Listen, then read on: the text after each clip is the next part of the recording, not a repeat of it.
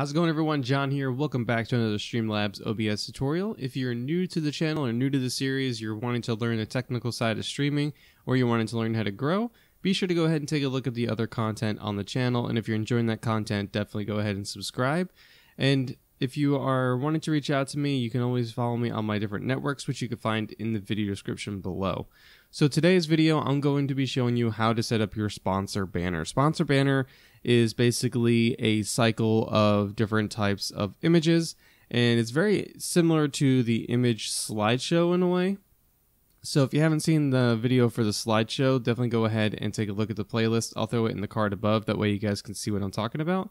But the way we're going to set this up is it's going to look similar to something like this. So I've already set one up. So it starts off with just this one logo here, and then we give it about nine seconds or so, and then it transitions over to the next one. Now, the nine seconds is defaulted. You can always change it, but that's pretty much what it is. And you usually will see people having this type of stuff displayed whenever they are uh, having like different sponsors they want to share.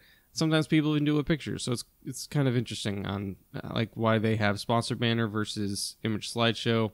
But so the way to set this up is we're going to, of course, create our scene, go to the plus by sources, and we're going to be looking for sponsor banner. So it says you can set up a sponsor banner and let's see to be able to edit, add, remove, update, rotate sponsor logos on streaming channels or on a streaming channel.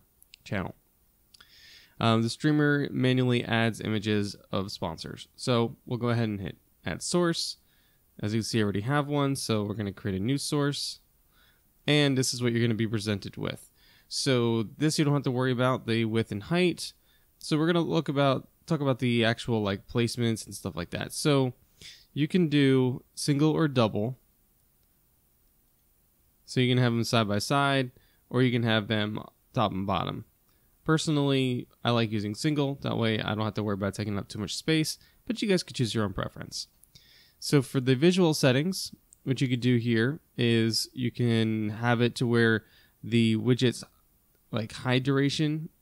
You can mess with that. You can mess with the actual show duration, the banner's width, the banner's height, and you can also have a kind of like a animation for it when it comes into the actual stream and everything like that. So you have a bunch of different ones you can choose from.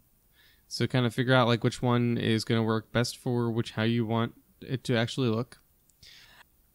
All right, so then once you have that all set up, we're going to go over to the image set. So this is where I have my images set up. Now normally it's only got one, so we're just going to leave it like that. And what I did was I just uploaded my images to the actual media gallery here in Streamlabs. And you can either do that for yourself or you can grab images that they have and stuff like that.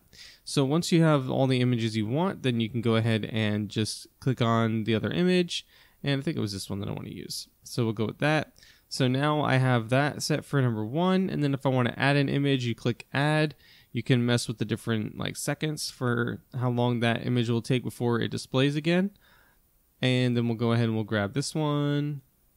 And then if we add one more, as you can see, it stays at 10. So we'll have to go and mess with that later. So we'll grab that one.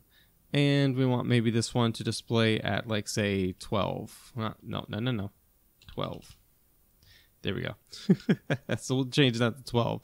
So once we have everything how we want it, the source, only if you need to refresh it, if it's running into some problems, you only have to click that. Everything else just leave the same.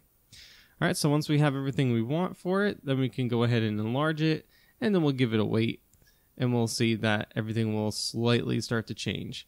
So we got that one, and then we give it about 11 seconds before it will change again. And you can continuously change these durations and everything. That way they could be a little bit faster, maybe a little bit slower, and you can see the animation is bouncing and everything like that.